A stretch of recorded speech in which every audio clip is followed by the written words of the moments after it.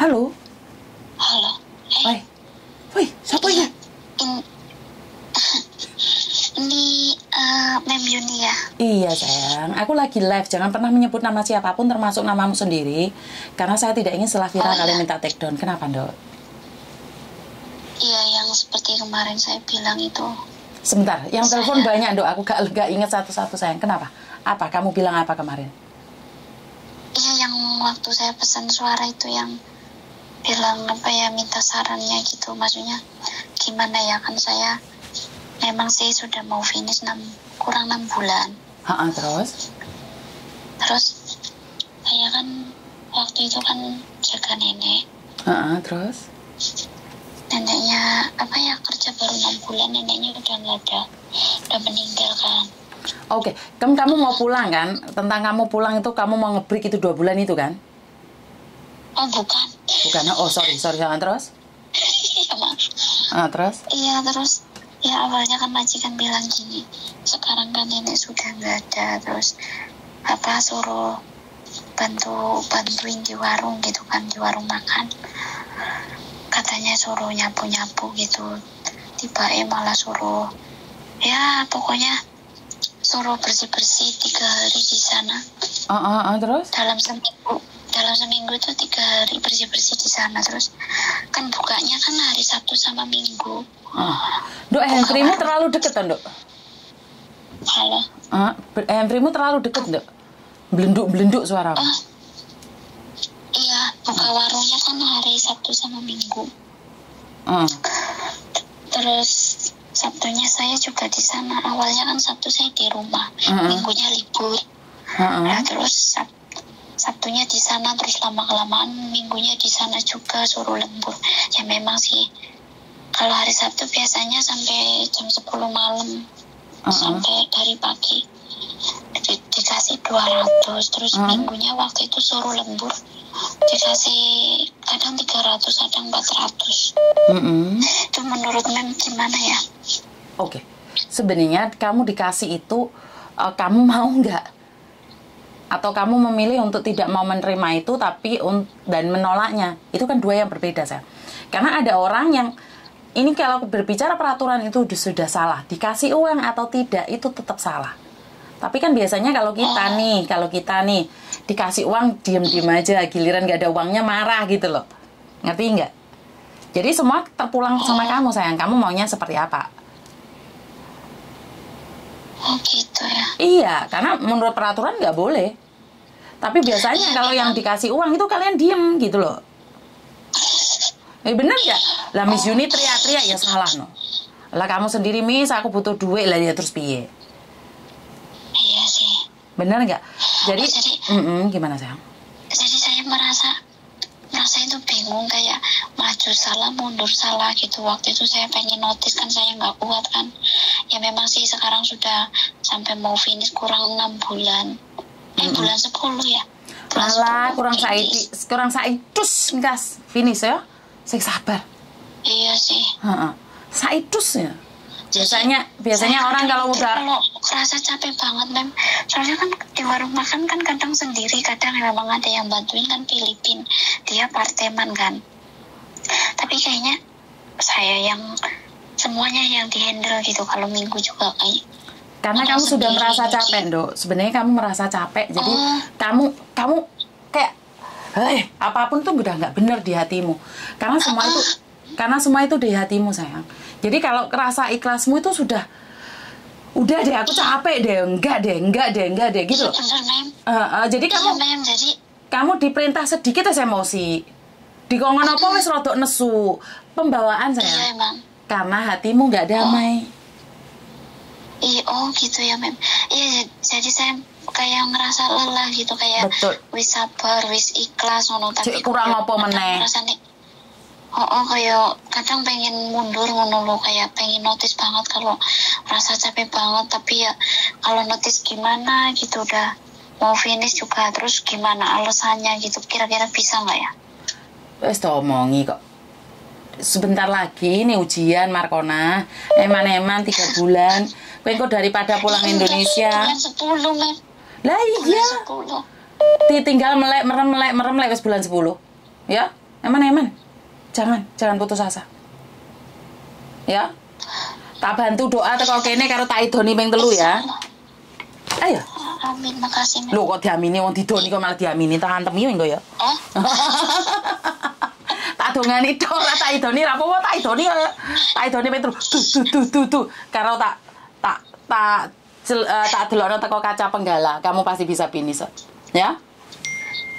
iya, maksudnya nanti kalau finish bisa cari sama Mem, Oke, siap. bisa. Lek finish rene nggih tumpengan, syukuran, ngekekne duit nggih tonggo-tonggo teparo kalau sudah sukses finish kontrak. Nitip saya kasih no tetangga, ya sedekah saidik saidik buat tetangga. Ya. Ben ke depannya dapat majikan yang lebih baik lagi. Iya. Hmm. Eh, eh, kantornya di mana ya, Mem? Ah, kamu SMS Koko aja, Koko Thomas. Oh, saya nggak punya. Makanya lihatin di Facebook Uni TKW Hongkong cariin yang Maksudnya di Yunlang, di Yunlong apa di mana? enggak kita di Wampo. Oh, Oh. oh. Boleh ono di Facebook eh, Uni TKW Hongkong. Habis itu kamu cari nomor nomor teleponnya Koko Thomas ya. Mm. Ada yang lain lagi? nggak sih, Mem. Berarti ya memang saya harus dikuat-kuatin. Duh iya iya no. Itu semua kan dari hatimu. Dok. Hatimu sendiri yang capek dok. Kamu pasti bisa. Tinggal lima bulan loh. Iya, nah. Eman-eman loh. Iya, nah, Mem. Mm-mm. Wah, kalau yang lainnya kamu Soalnya ngebrik kan- ngisi-ngisi nih, men. Mem. Soalnya kan Hmm. soalnya kan ya di warung makan itu kan wis capeknya belum kalau ditambah tiga hari itu suruh bersih bersih suruh nyiapin ini buat hari Sabtunya gitu kan Mm-mm. udah di rumah rumahnya gede banget besaran semuanya pokoknya aneh bingung Tapi gak usah khawatir, kalau hatinya ikhlas itu nyaman. Jadi lewat nyambut gawe itu aja di, di, diperhitungkan. Iki kudu jobku, itu Oh. jobku. Wes ringan ndok. Capek itu capek itu malah enak loh. Kamu capek hati sama capek tubuh itu beda, sayang. Capek hati kamu nggak bisa tidur karena batin dan badan itu beda. Badannya capek tapi hatinya capek. Itu gak nyambung. Kenapa banyak orang uh, minum obat tidur? Karena batin dan badan itu tidak sesuai. Badannya kesel, remek, hatinya melayang-layang. Bener nggak? iya nah dari situlah kamu harus belajar ikhlas. Orang gampang mau ngikhlas sih, tapi mau gimana lagi? Sama tak kasih tahu, bukan samen. Kadang-kadang aku sendiri juga nggak ikhlas. Tapi apa yang bisa aku lakukan kalau aku nggak ikhlas? Marah. Marah sama yang buat hidup, nggak juga kan? Marah sama majikan dia dipecat. Marah sama yang buat hidup, Iya. kita nggak apa-apa Mas Yan, marah-marah aja. Tapi lek kadung Karmayanti Karmayantu teko piye? iya. Bener nggak? iya bener marah sama majikan dipecat. Marah karo mbok mbok bapak diantemi dia sih. Iya pernah marah sama aku tak antem helikopter dia semua. Iya pernah bener nggak? Iya Mem Mm-mm, jadi wes nggak usah mikir yang aneh-aneh ya iya iya makasih ya Mem ya Mm-mm. maaf sudah ganggu nggak mengganggu Makasih waktunya. sama-sama aku Iya. sendiri juga bisa bantu seneng ya ada yang lain lagi enggak Mem Mm-mm. ya udah Uh-uh. ya Terima kasih sayang ya. ah makasih ya Mem Yuk. ya Assalamualaikum.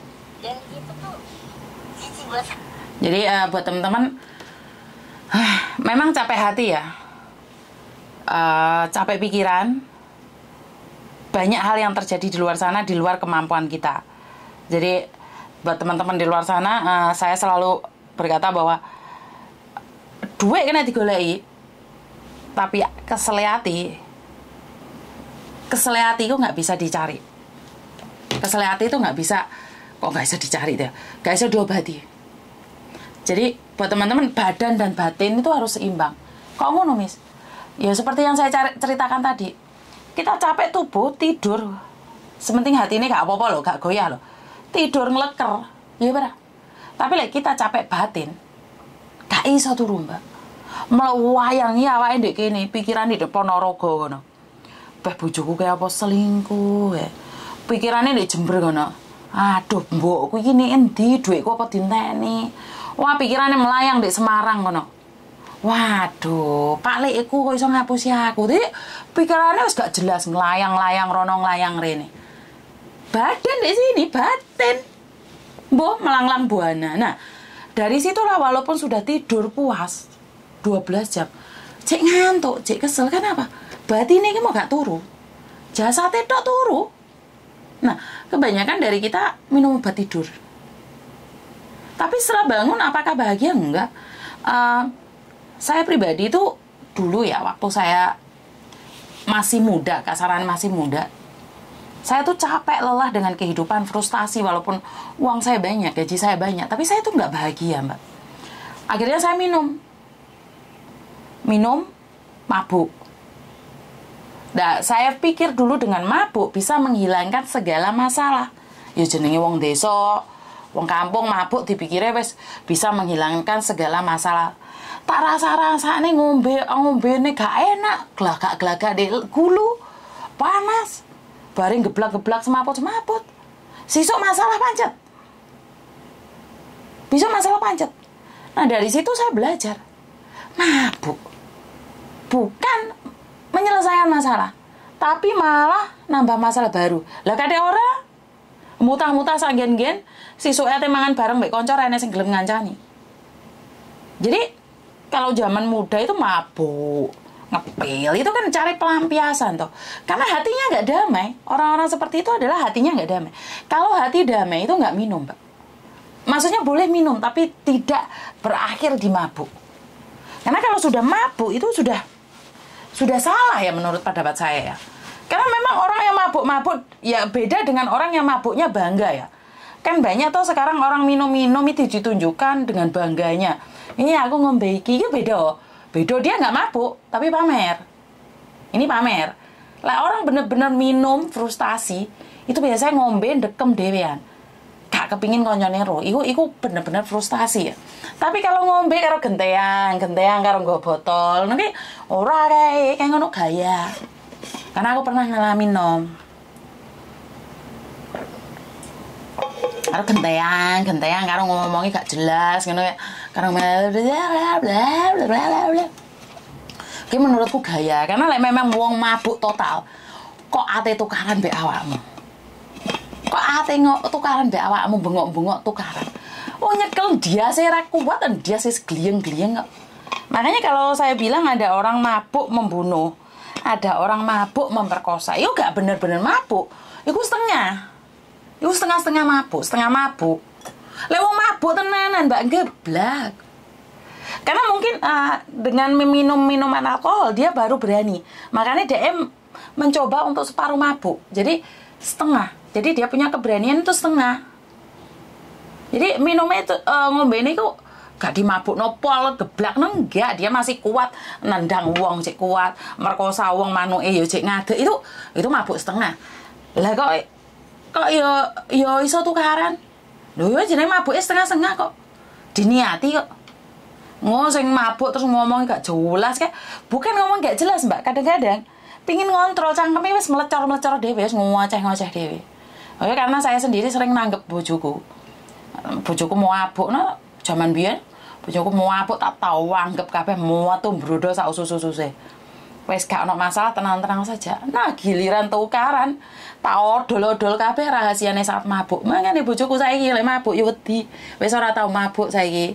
Jadi uh, saya tidak tidak advice untuk mabuk ya karena memang uh, mabuk itu tidak akan membawa ke mana. Tidak menyelesaikan masalah. Menurut pendapat saya ya silakan anda bisa komen sendiri. Jadi mabuk bikin bikin ngeluh dan dan tidak memberikan kekuatan malahnya ya. Bener nggak? Tapi ya wes sembuh orang ngerti ya aku soalnya aku dewi sekarang mungkin karena kesehatan saya juga drop jadi saya selama sekali tidak menyentuh alkohol sudah hampir berapa? Empat tahun ke lima tahun ini saya sudah tidak sama sekali menyentuh alkohol ya walaupun saya sudah uh, bekerja di bar sampai saya kalau waktu saya masih jadi manajer itu mau tidak mau saya harus nyobain uh, wine. Karena saya jualan jualan uh, minuman ya otomatis saya harus tahu ini apa ini kelebihannya apa. Tapi setelah itu saya tidak ada sama sekali. Jadi aku mabuk mergo belum minum kopi misal tak antemi minggu ya. Jadi setuju mis minuman hanya semakin nambah beban. Iya mbak. Karena regane barang ya rodok larang uh, terus uh, ngelune oke okay, efeknya juga oke okay. dan orang mabuk itu gampang tersinggung Kenapa sih orang mabuk gampang tersinggung? Karena memang di hati kan nggak damai. Jadi dan dia itu punya nyali karena dia separuh mendem. Karena itu buat teman-teman uh, miris sekali saya ngelihat mbaknya dengan uh, tubuh tertutup ya uh, di media sosial ini saya lihat bawa minuman, bawa sake, terus di di live itu saya nggak tahu ya tujuannya seperti apa. Apakah ingin menunjukkan sama orang lain kalau dia itu dengan baju yang tertutup terus dia ingin menunjukkan sama orang-orang yang yang di luar sana bahwa dia itu bisa mabuk. Tapi menurut pendapat saya itu sangat sangat miris ya. Dengan baju yang seperti itu tidak seharusnya uh, minuman keras yang ditunjukkan ya. Bukan minuman keras ya, apa ya? Minuman keras kan aki ya. Apa namanya? Uh, jadi kalau terpengaruh alkohol iya, jadi amanah kak namaku amanah ya mbak piye. Miss Yuni mau tanya kalau ekspedisi yang uh, setelah berdebat sama kita kalau akhirnya barang kita nggak jadi kirim kira-kira gimana mbak? Waduh, berdebatnya bagaimana? Terus posisinya sekarang ada di mana? Wih masalah uh, ekspedisi ini kok saya belum membahas ya karena mungkin saya butuh energi banyak. Saat ini saya tidak membahas ekspedisi ya kayaknya ngangkrak gitu ya. Nanti kita akan bahas karena saya tidak punya ilmunya mbak. Saya masih belum punya ilmu untuk ke sana. Jadi saya tuh uh, kalau saya tuh menerjang saya harus tahu ilmunya dulu. Saya nggak ngerti ilmu nih tentang ekspedisi itu mangkraknya di mana dan bagaimana itu ntar kita bahas ya soalnya saya tidak tahu. Jadi buat teman-teman di luar sana uh, terima kasih sekali. Uh, berkat doa kalian saya sudah sembuh. Syukur alhamdulillah. Dan uh, terima kasih juga buat fan-fan saya yang di luar sana yang sudah nonton uh, YouTube saya selama empat hari ini di di re-upload ya sama sama sama adminnya di re-upload ya. Saya juga ucapkan banyak-banyak terima kasih. Uh, dan saya sudah sembuh sekarang tapi misi saya belum komplit karena keluarga yang ada di Indonesia saat ini yang mbaknya sakit kemarin tuh masih belum ada jawaban dari keluarganya. Jadi buat teman-teman di luar sana uh, kekel baca komen Jarno ya wes kon ngombe uh, ojo ngombe alkohol malah ngombenane sop-sopan. Ya wes buat teman-teman di luar sana saya ucapkan banyak-banyak terima kasih. Kita sambung entar sore mungkin sekitar jam 3an atau jam 4 tak tidur dulu soalnya Pak Tony senengane nesu telepon kowe iki tak oleh kerja takon turu awan lah kok pecicilan dolanan HP ae ya wes Matur nembah nuwun, kurang lebihnya saya minta maaf. Wassalamualaikum warahmatullahi wabarakatuh. Berkat Tuhan mengalir atas hidup kita semua. Semoga semua makhluk hidup bahagia dan terima kasih.